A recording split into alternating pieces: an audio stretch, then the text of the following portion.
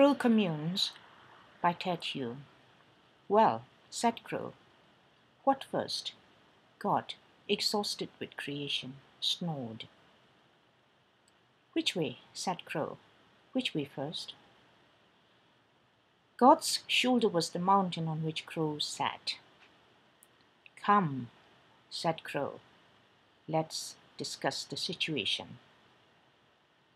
God lay agape a great carcass.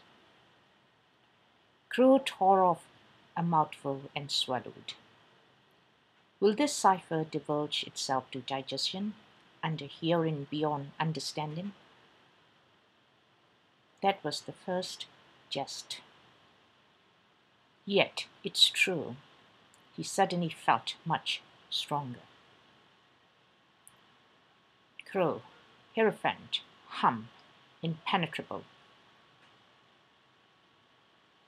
Half illumined, speechless, appalled.